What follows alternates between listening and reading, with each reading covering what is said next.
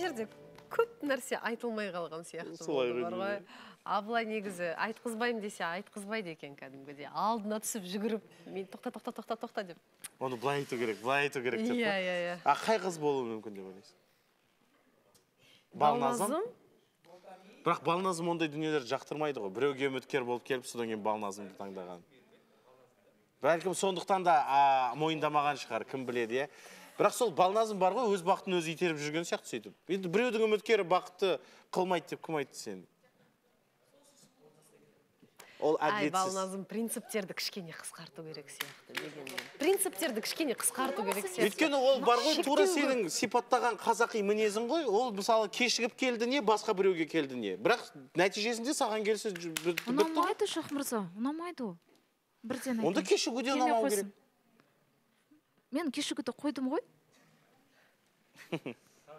Иә бүгін ә, тағы да бір жаңа қатысушы қосылу керек қатарымызға. Былай айтайын тәжірибелі қатысушылардың қатарына демек бұл адамды біз нақты танимыз ә, және плюс тағы да бір кешігуші бола ма? Жоқ қалай болады деп ойлап отырмын. Кім екен? Ә, негізі бірінші маусымнан болса кешікпейді ау. Өйткені біз бірінші маусымда мүлде кешікпейтінбіз. Және де шынымен жоқ рас ол құндыз ол рас. Иә біз сағат сегізде барлығымыз сегізде иә. келіп алатынбыз анау қазақфильм жаққа. Негізі шынымен де бірінші маусымда біреу келсе екен өйткені жалғызсырап отырғаныма жарты жыл болды ғой.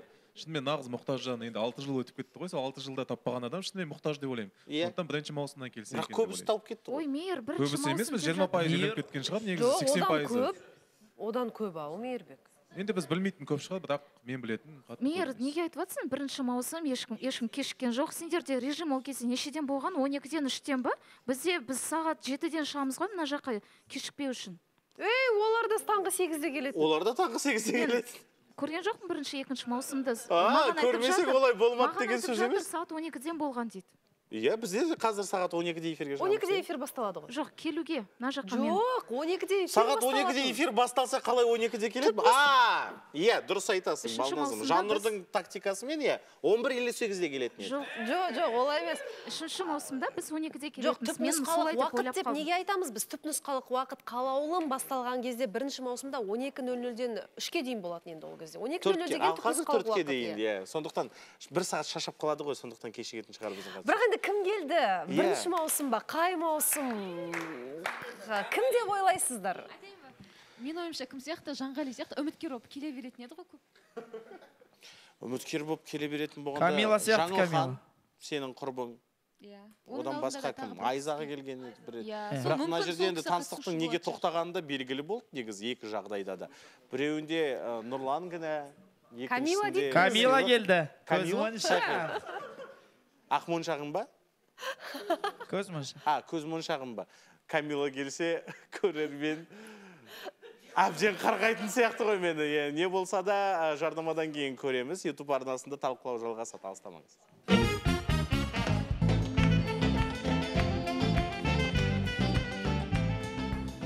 Иә сөйтіп сөйтіп сөйтіп біз ә, жаңа тәжірибелі қатысушыны студияда күтудеміз мына жерде жарнама кезінде талай нұсқалар болды өте көп нұсқалар болды. Кейбіреулердің есімін атып, атап содан кейін ай ол үйленіп кетіпті ғой тұрмысқа шығып кетіпті ғой деп отырғандары да бар. Не болса да жылы жүзбен ыстық ықыласпен қарсы алуға дайынсыңдар ма? Әйтпесе тәжірибелі қатысушылардың бүгін бір тәжірибесі өздері де қарсы ойнап жатқан сияқты иә? Бір көңіл күй деген жаңағы минус минус он болып жатыр ау не дейсің? Жоқ енді көтеріліп келе жатыр мырза, жаңа менің ойымша қатысушы келеді деп өйткені біздің са- мен сөйлеп отырмын не болып отыр? Ой қазір абылай келіп ұрсады саған қой. жоқ біздің санымыз негізі азайып бара жатқан ғой сол қазір жаңа қатысушы кіреді дегеннен кейін уже көңіл күй көтеріліп келе жатыр. Мен айтамын да мәриям келсін. Қызықтың көкесі сонда бұл. Мәриям келсе. бірақ мәриям келсе кенже жобадан шығып кете ма үміткер болуы мүмкін. Кім мәриямға. Мәриямға. А не істейсің кенже мәриям келсе не істейсің ол келмейтін сияқты қатысушы болып келсе егер қайдан білесің сен оны келгеннен кейін көреміз сәлден кейін ой кенже сіздер сұраққа жауап беру дегенді білесіздер ма не екенін мағынасына қарай сұраққа жауап беру керек қой қашпай. Кенже жауап берейін десе екі сөйлеп қалам ба деп қорқып отыр иә ол қорқып отыр ғой мына жерде шах мырза. Егер де үміткер болып шығып кететін болса статистикасы түсіп абылаймен ғой. сөйлесіп қайтпадың ба? Не істеп отырсың сен мына жерде? Құдайға шүкір мен сөйлесіп қайттым және де өзім немді қорғап келдім. Уайымдамай ақ қой сен атман абылай қайшысын орнында ұмытып кеткен ғой деймін иә? Шашың сол қалпы ғой. Иә қайсысын үйінде ұмытып кетіпті? Сол уақытта енді шашым жайында. Әйтпесе нұрлан уайымдап отыр еді. Көрдің ба? Иә сол шығып бүйтіп ой бізде бүгін тастық айтқан деп қоя салған сияқты ғой сен де бір қалыспайсың. Жарайды құрметті көрермен жаңа тәжірибелі қатысушыны ә, ортаға шақыратын уақыт келді. Сіз кім деп ойлайсыз? Сіздің тұжырымыңыз дұрыс шыға ма? Оны қазір тексеретін сәт. Ендеше бір болайық жобасының алтыншы маусымының ә, жаңа қатысушысы ортаға шықсын.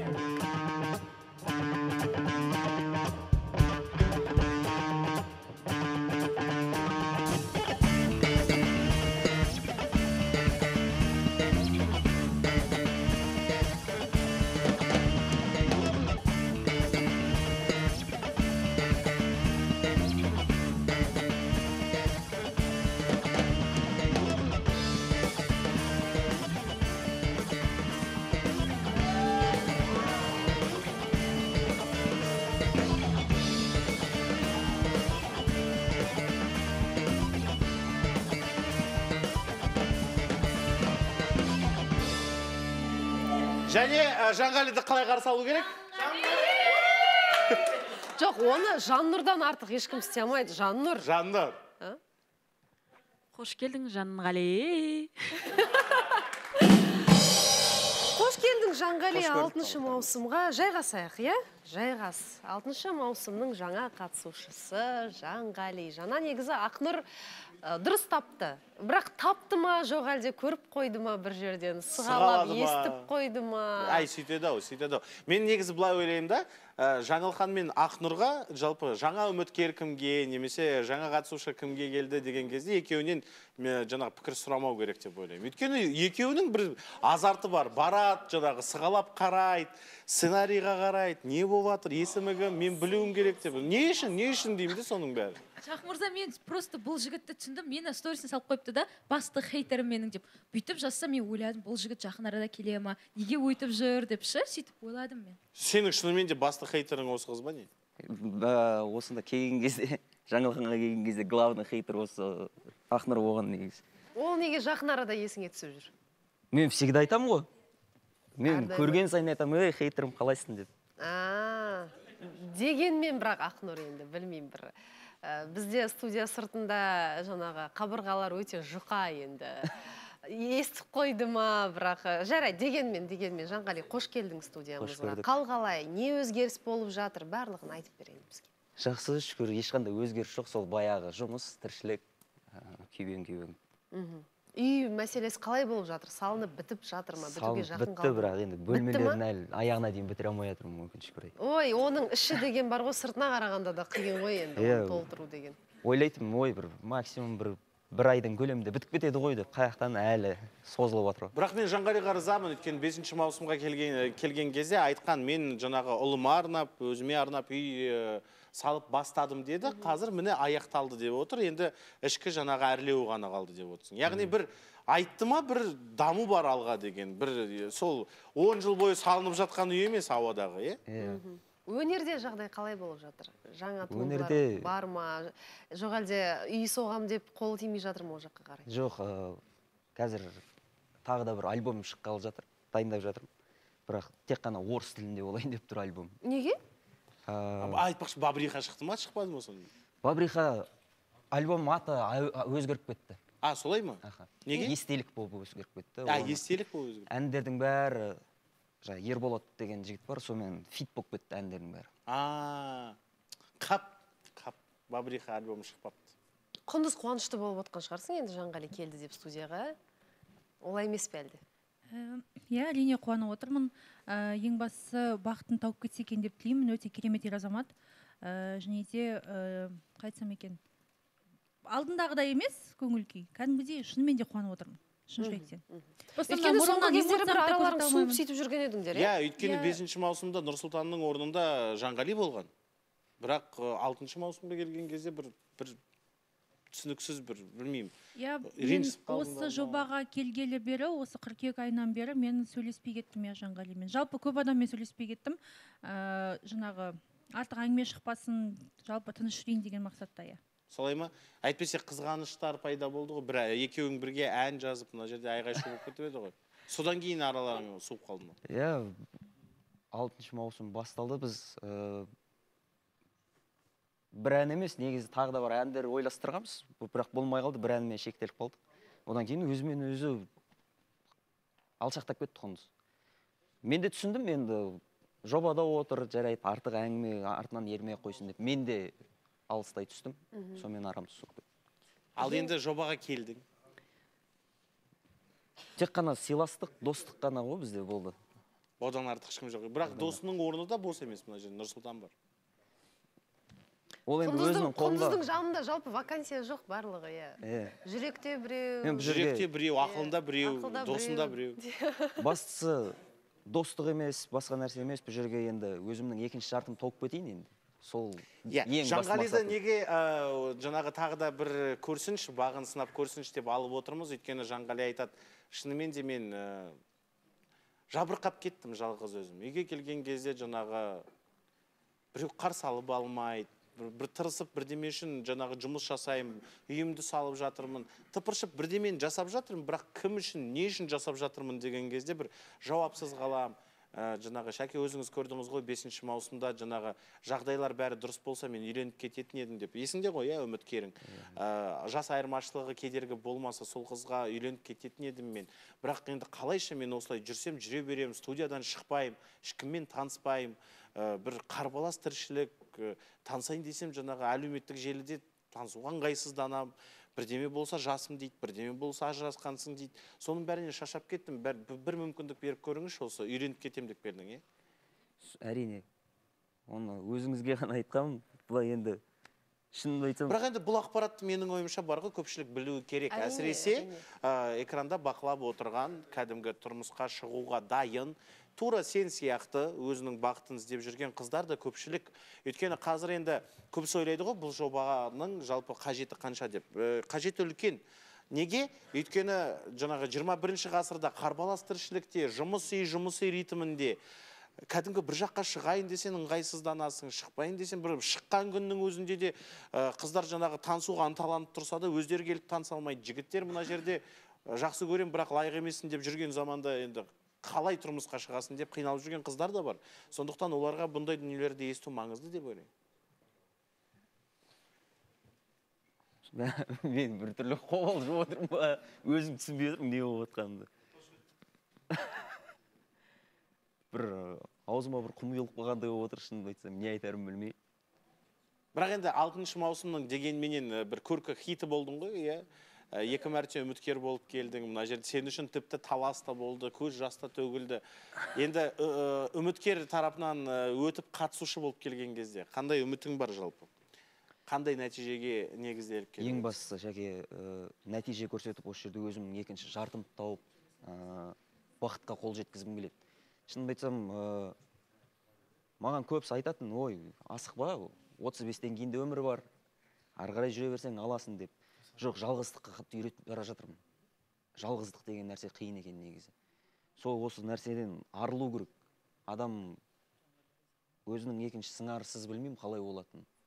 Сондықтан өзіме болашақ жарымды осы жерден кезіктіріп ә, қауым жұртқа той көрсетіп және де өзім екінші шартымды тапқым келеді. Болашақ жарыңды елестеттің бе? Болашақ жарымды күніге жатарда елестейді бірақ әйтеуір қай күнге бұйыратыны белгісіз болып тұр пока. Енді дегенменен хатыңды дайындап келген шығарсың. Өйткені хат жазғанда елестету керек қой бір. Нақты жобасы осындай қызға жазып жатырмын деп. Ә, мен жаздым хатты. Бірақ ы, қатты сөкпеңіздер. Шәке мен мына бағдарламада жүріп білесіз ғой қазақша үйреніп бір кішігірім қазақ болып кеттім. Қазір қайтадан орысша неғып жаңа қайтадан қазақшаны қолға алып неғып жатырмын да. Ойбой қазақша қазақ қазақ емессің бе өзің? Қазақ қазақша хат әбден- жазыпты болашақ жарына деген. Әділет әрлеп жіберсең. Болашақ жарыма хат. Сәлем жаным. Мен сенің дәл қазір қайда екеніңді білмеймін. Жүрегіммен сезіп жүрмін. Сен менен алыс емессің. Сен маған таныс сияқтысың. Екеуміз бір біріміз үшін жаралғандаймыз. Сені көргенде мен еркін, еркіндікті сезінемін. Сендегі келбет дене мүсінің бәрі бәрі маған ұнайды. Адалдығыңды ерекше бағалаймын екеуміз бір болсақ біз еңселмейтін асу, а, асудың болмайтынына сенемін. Қалай болса да біз бақытты боламыз. Себебі сен ұлы махаббат пен бақытқа лайықтысың. Сәлеммен болашақ қорғаушың жанғали. Ал болашақ қорғаушы қандай қызды күтеміз? Ә, шашы ұзын Ә, бойы өзіммен бірдей. Метр жетпіс. Сәл ұзындау болса ше? Бола береді. Бола береді. Алпыс тоғыздан жоғары болса болады жасы? Жасы жасқа шектеу қоймаймын. Жасқа ешқандай шектеу жоқ. Ешқандай шектеу жоқ. 18-ден бастап 110-ға дейін. Шектеу жоқ. Шектеу жоқ дейді. Ажырасқан болса?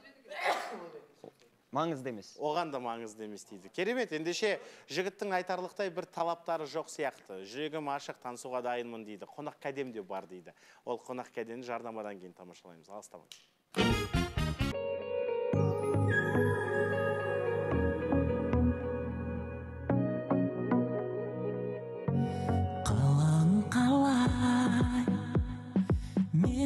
Жаралған құсым.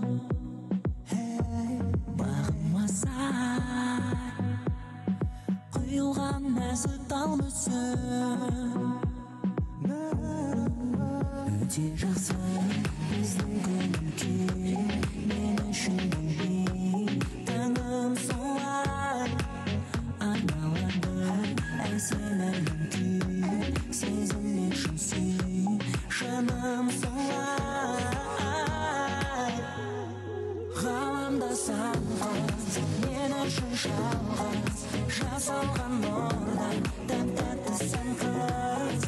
Сен тек бір мен үшін ал мен бір сен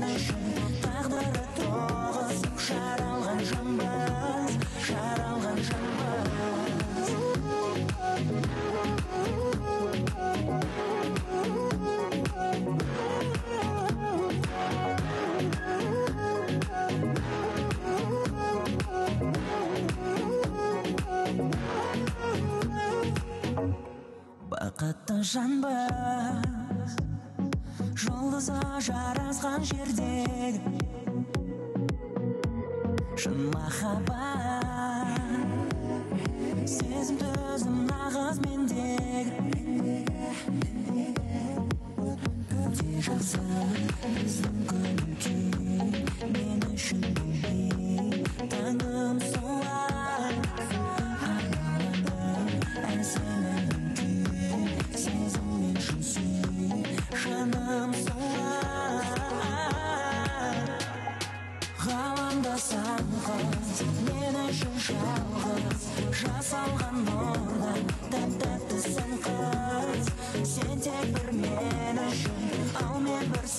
сен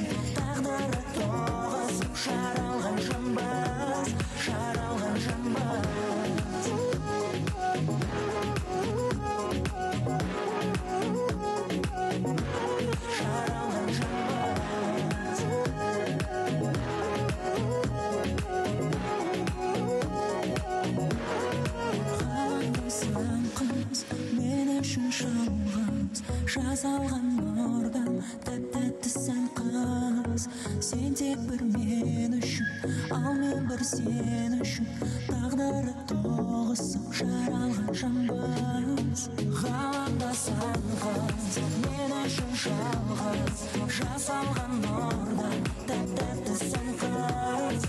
Сен тек бір мен үшін ал мен бір сен үшін. Тағдыры тоғыз жаралған жанбыз жаралған жанбыз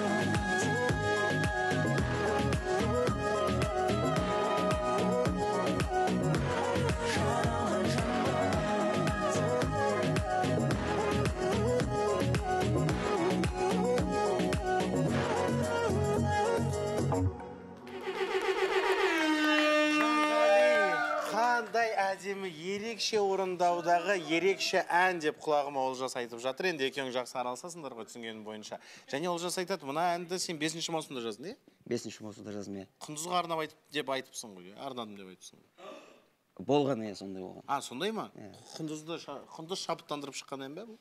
Ол кезде енді жоқ деп мен мойындамаған болатынмын. Шәке осы жерде өзіңіз тиіскен болатынсыз. Бұл қызға құндызға ма или барша қызға ма деп? Не дерімді білмей просто барша қызға деп айта салғаным бар иә. А негізі құндызға? Негізі иә. Сол себептен естелік альбомында. Естелік альбомына кірген жоқ бұл сольный сингл болып шықты. Қандай күшті бақыттысың иә құндыз. Саған арнап ән шығарып жатыр жігіттер. Қандай күшті әділет мәз мына жерде. Бірақ енді жанғали өзінің демек талғамым дұрыс деп ойлап отқан шығар иә. Ә, негізі жанғали өз үміткерін күту үшін келіп отыр бұл жерге. Үш дабл нүкте бір болайық нүкте kz сайтына өтініш толтырсаңыздар болады дәл осы сәттен бастап. Жанғали қош келдің. Орныңа жайғаса ғой. Әділет әділет тіпті әділет. Болмайды ғой олай әділет. Әділет. Мен оңғарма деп бүйтіп бір кездері ұмыт оңғар да болады бір кейде ұмытып қалатын өйстіп адам келіп кеткен кезде бірақ әділет бұндай ә, сәтті жібермейтін еді әдейі қоспай тұр а? Қалай? Мен осы ойлаймын да шах мырза қойсай. Құндыз балназым кәдімгідей айтады ғой енді мұқтажбыз күйеуге тию керек енді бірақ өздерінің деген кәдімгідей принциптері былай бастан асады. Қанша жігіттің жүрегін жаралап жүрсіңдер да мысалы а? сөйтесіңдер де сосын ер азамат жоқ деп айтасыңдар иә а құндыз? Ай ойлану керек ау. Иә кеше бірақ құндыз бар ғой кішкене басқаша айтты. Кеше құндыздың әңгімесі тым басқаша еді. Жүрегімде ұмытқым да келмейді шығаруға да тырысып жатқан жоқпын. Егер иә десе